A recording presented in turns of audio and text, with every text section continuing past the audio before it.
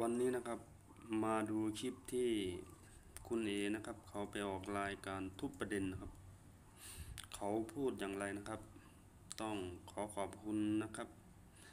คลิปจากรายการทุบประเด็นนะครับ ดูการพูดของคุณเอนะครับที่ว่าทักษิณไม่ดีนะครับ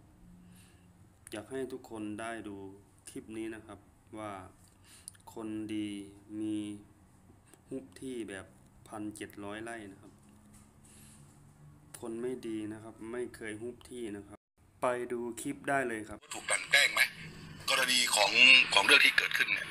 รู้สึกค่ะ อืมมีนักการเมืองคุณทักษิณอยู่เบื้องหลังไหมครับ เรื่องนี้ อ่านายกทักษิณเขาเป็นคนไม่ดีอะค่ะ ถ้าเวลามีอะไรเกิดขึ้นไม่ดีในประเทศไทย หรือตัวดิฉันก็ต้องเป็นเขาอยู่แล้วค่ะ เหรอ ค่ะ มัน มันจะมีหลักฐานหรือไหมหรือเราจะใช้ตรรกะแบบนี้เป็นทุกเรื่องว่า คือมันเวลามันมีอะไรเกิดไม่ดีเกิดขึ้นในประเทศไทย และไม่ดีกับปารีนาก็ต้องเป็นคนคนนั้นอยู่แล้ว ถูกต้องแล้วเอาอย่างนี้เลยเหรอคือและดิฉันเชื่อด้วยนะคะ ว่าประชาชนส่วนใหญ่ก็รู้สึกแบบนี้หืมเหรอค่ะสมมติว่ามีอะไรไม่ดี อย่างเงี้ยทักษิณเปล่าเนี่ยเนี่ยคือความรู้สึกนะคะมีอะไรมาตรวจสอบปารีนาทักษิณบ้างเนี่ยค่ะ อย่างนี้เหรอคืออะไรที่มันไม่ดีเกี่ยวกับประเทศไทยอะค่ะ ก็เขาถึงอยู่ประเทศนี้ไม่ได้ ดูการพูดนะครับของคุณเอนะครับ เขาจะว่าคนไม่ดีนะครับ แต่ก็เคยเป็นหัวหน้าพักของเขานะครับพักเก่าที่เขาเคยอยู่นะครับ ไม่น่าเชื่อการพูดของเอพันเจ็ดร้อยไร่นะครับ จะพูดได้ดีขนาดนี้นะครับ จากชาวบ้านตาดำๆที่เห็นนะครับ ผมว่าปกตินะครับ คนที่จะมีสิทธิ์ได้ที่ดินพวกสปกงสปกอ่พปทอะไรนี่ ต้องเป็นคนจนนะครับ ถ้าคนที่มีตำแหน่งถึงสอสอตั้งหลายสมัยมีที่นี่มันแปลกนะครับ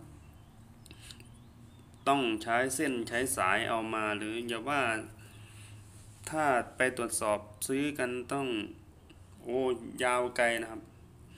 แต่เอเขาบอกว่าไม่ผิดนะครับ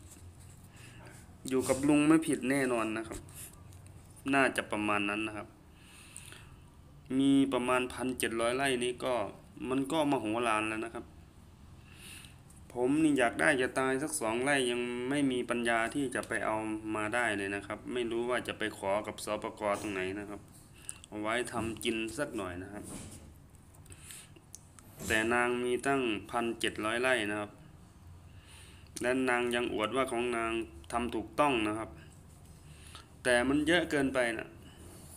คนคนเดียวที่จะครอบครองที่ตั้งพันเจ็ดร้อยไร่นะครับ ที่พันเจ็ดร้อยไร่ไม่ใช่ธรรมดานะครับ สุดหูสุดตานะครับ แบบว่า สนามบอลหนึ่งมันก็แค่ประมาณมันกี่ไร่นะสนามบอลหนึ่งมันสี่ร้อยคูณสี่ร้อยใช่ไหมมันประมาณกี่ไร่ก็ไม่รู้เหมือนกันนะอันนี้พันเจ็ดร้อยไร่ วัดพระธรรมกายประมาณสองพันไร่นะยังหาพระไม่เจอนะครับ นี่พันเจ็ดร้อยไร่ห่างกันไม่เท่าไหร่หรอกครับ นี่ไม่น่าเชื่อ นางว่านางเป็นคนดีนะครับ แต่นางมีที่พันเจ็ดร้อยไร่ อิจฉานางมากเลย คุณเอช่วยบอกผมหน่อยนะครับ ว่าผมอยากไปอขอที่ทำกินสักห้าไร่นี้ ต้องไปทางช่องไหนนะครับ บอกชาวบ้านคนยากคนจนหน่อยนะครับ คุณเอ คุณแบบว่าผมนี่คุณสมบัติครบถ้วนเลยนะครับ ยากจนนะครับ คุณสมบัติ เข้ามากกว่าคุณอีกนะครับ ผมเห็นคุณอะไม่น่าจะได้รับนะครับที่ดินเนี่ยเพราะว่าคุณสมบัติไม่ผ่านที่จะรับ เพราะว่าคุณก็เป็นตั้งแต่พ่อของคุณก็ไม่ใช่คนจนแล้วนะครับ คุณเป็นเกษตรกร ใช่คุณมามันไม่ใช่เกษตรกรของคุณมันน่าจะเป็นบริษัท ใหญ่โตมโหฬารนะครับ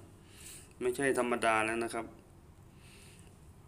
ถ้าคดีนี้ไม่มีแบบว่าไม่ผิดนะครับ ผมโอ้โหพวกนักกฎหมายประเทศไทยต้องเขียนบรรทัดฐานกันให้แน่ละครับ การนี้ ต่อไปคนที่เป็นสสคนอื่นอะ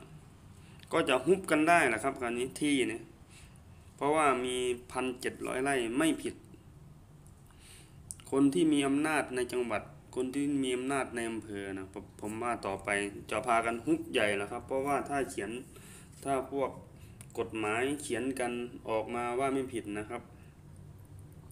แล้วก็ถึงผิดแล้วถ้าไม่ได้รับโทษนะผมว่าไม่มีใครกลัวหรอกครับ เพราะว่า แต่คนยากคนจนถ้าเป็นแบบนี้ ผมว่าป่านนี้เอาไปขังแล้วใช่ไหมถ้าเป็นคนแบบว่าคนอย่างเรานี่มีประมาณสักร้อยไร่ โอ้ยโดนขังไปไม่รู้กี่ปีแล้วป่านนี้ อันนี้นางยังหน้าตาเฉยยัง แต่ถ้ามาพูดไม่รู้กฎหมายคงไม่ได้นะครับ เพราะว่าขนาดพ่อยังเป็นสอสอถ้าไม่รู้กฎหมายคง ต้องมีทีมกฎหมายอยู่แล้วต้องรู้นะครับ แต่วิธีที่ไปเอาที่มาจะไปซื้อมามันก็ต้องรู้นะครับ เพราะว่าถ้าซื้อมาเกินห้าสิบไร่ถึงยังไงมันก็ต้องจะผิดอยู่แล้วแหละผมว่านะครับ แต่นางบอกว่าของนางทำถูกต้องเสียค่าอะไรภาษียอดหญ้าอะไรนะครับ ผมอยากได้จังเลย คุณเอ๋ช่วยชี้แนะวิธีทางหน่อยอยากได้สักห้าสิบไร่ก็ได้วะ คงจะมีวิธีหาตังค์จ่ายค่าภาษีบำรุงท้องที่อยู่นะครับ ภาษีบำรุงท้องที่อะไรพปทนะครับ มันคงจะไม่แพงเท่าไหร่ น่าจะปลูกต้นยูคาคงจะหาจ่ายค่าภาษีได้อยู่มั้งที่ประมาณตั้งห้าสิบไร่เนี่ยปลูกทิ้งทิ้งปลูกทิ้งปลูกขว้างปลูกอ้อยปลูกอ้อยก็ได้ปลูกมันก็ได้นะครับ นี่นะครับ สงสารคนยากคนจนที่แบบว่าไม่มีสิทธิ์ที่จะ มีที่มีทางไปทำกิน แต่เธอคนเดียวนี่มีพันเจ็ดร้อยไร่ ถ้าพันเจ็ดร้อยไร่มีฟาร์มไก่ แล้วเธอจะมีลูกน้องขนาดไหนนะครับเท่าที่พันเจ็ดร้อยไร่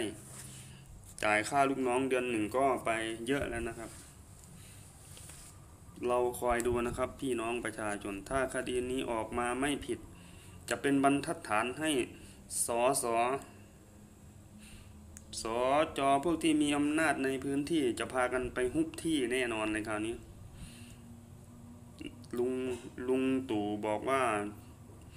ออกมาใหม่ๆ ไปหายึดที่เป็นนายกตอนที่ปฏิวัติมาไปหายึดที่ยึดอะไรยึดเหมืองแร่มานะครับ ของเขาผิดหมดนะครับ ที่สปกงสปกยึดเอาคืนหมดนะครับ ต้องแสดงสิทธิ์ให้มาแสดงสิทธิ์กันว่าของใคร อยู่กันมานานออกมาคืนให้คนยากคนจนนะครับ นี่จะดูชาวบ้านจะรอดูคลิปนี้นะครับ ดูดูข่าวนี้ว่าจะออกมาอย่างไง จะเป็นเหมือนที่พวกเราคาดคิดไหมตามที่พี่น้องประชาชน เห็นข่าวนะครับ ก็ไปโทษคนนู้นคนนี้ว่าเขาเป็นคนไม่ดีนะครับ ตัวเองเป็นคนดีแต่ฮุบที่มาพันเจ็ดร้อยไร่ อย่าว่าแต่ซื้อมาเลยครับ ซื้อมาก็ยังผิดเลยนะครับพันเจ็ดร้อยไร่เนี่ยถ้าไปแจกคนคนเดียวไปแจกบ้าอะไรแจกขนาดพันเจ็ดร้อยไร่ ที่ดินไปแจกคนคนเดียวพันเจ็ดร้อยไร่เป็นไปไม่ได้ครับเขาไม่ให้เกินห้าสิบไร่ใช่ไหมถ้าผมพอรู้ผมพอดูข่าวช่องอื่นนะครับ เพราะว่าต้องมนุษย์ที่จะได้อาสปกรนี่ หนึ่งต้องเป็นคนยากจนใช่ไหมคุณสมบัติผ่าน ว่าคุณยากจนที่จะได้ที่ไปทำกิน แต่ที่เป็นข่าวส่วนมากก็มีคนมีตังได้ไปเยอะอยู่นะครับ อยู่หลายจังหวัดทางภาคใต้ก็เห็นนะครับ คนตัวดำๆสักหน่อยก็มีเยอะเหมือนกันนะครับ เออประเทศไทยนะ มันไม่ได้รับจริง ๆ แบบคนจนๆไม่ได้รับจริง ๆ ถ้ารับกันจริงๆนี่คงน่าจะเจริญไปไกลแล้วนะครับ สงสารพี่น้องร่วมชะตากรรม พวกเราที่อยากมีที่มีทางไว้ปลูกผักเลี้ยงวัวเลี้ยงควาย แต่ไม่มีวิธีทางที่จะไปเอาได้นะครับ แต่คนที่เขามีอำนาจเขารู้จักสอ พวกรู้จักเจ้าหน้าที่พวกอะไรเขาเหมือนกับช่วยกันนะครับ เหมือนกับปกปิดช่วยกันว่ามีช่องซิกแซกไปได้นะ แต่พวกเรามันไม่รู้จักใคร พอไปแล้วเดี๋ยวก็อันนั้นขาดคุณสมบัติไม่ผ่านยากมาก รายการข่าวบ้านนอกคอกนานี่ครับก็ เอามาตีแผ่ อยากให้เป็นกระแสช่วยกันต่อ ไปขอบคุณคลิปที่ทุบโต๊ะทุบทุบประเด็นนะครับ ทุบประเด็นของคุณยุคนนะครับที่เชิญคุณเอไปออกรายการ ขอบคุณมาก ๆนะครับที่ คุณจัดรายการได้ดีมากวันนั้น เพราะว่า เชิญคนมาตรงเวลาเป๊ะพอดีนะครับ เดี๋ยวชาวบ้านตาดำๆจะคอยดูว่า บทสรุปของคดีพันเจ็ดร้อยไร่จะออกมาอย่างไงนะครับ เอาใจช่วยเจ้าหน้าที่ทุกคนนะครับ ขอให้ทำงานแบบสุดกำลังนะครับ เคยไปยื่นเรื่องไปเอาที่ของคุณแม่ธนาธรนะครับาว่าเขาเป็นทำผิดทำอะไรนะครับ เขาบอกว่าถ้าผิดเขายกให้ฟรีเลยนะครับ เขายังไม่ได้เข้าไปทำกินอะไรเลยนะครับ ยังเป็นป่าอยู่นะครับเบนกรรมจริง ๆ แป๊บเดียวเหมือนกับอะไรล่ะหมาไล่เนื้อ บินต่ำเมื่อไหร่โดนใช่หรือเปล่าก็ไม่รู้นะครับ เออประเทศไทยเรานะครับ ก็ขออวสานจบชิป เดี๋ยวจะรอดูไปว่า จะออกหัวออกก้อยยังไงนะครับพ่อแม่พี่น้องติดตามชมช่วยกันนะครับ อย่าให้ข่าวนี้เงียบไปเลยนะครับ ให้เป็นกระแสอยู่ทุกวันนะครับ ใครมีอะไรก็เอามาลงช่วยกันนะครับ ประชาชนตาดำๆผู้รับชะตากรรม แบบว่าอยากได้ที่ทำกินแต่ไม่มีไร้ที่ไร้ทางนะครับ แต่คนที่ เป็นถึงสอสอมีคุณสมบัติได้ที่สปกถึงเธอซื้อมามันก็ผิดนะครับ ผมว่ายังไงก็ผิด เพราะว่าคุณสมบัติไม่ผ่าน เป็นสอสอมีตังขนาดนั้นน่าจะไปหาซื้อที่ที่มันถูกต้องมีนสสามอะไรนะที่ดินที่ซื้อสาขายกันได้นะครับ เธอคงมีปัญญาซื้ออยู่แล้วล่ะเพราะว่าเธอร่ำรวยนะครับ ก็เอามาสารจบคลิปนะครับ ขอบคุณข่าว ทุกประเด็นนะครับมาก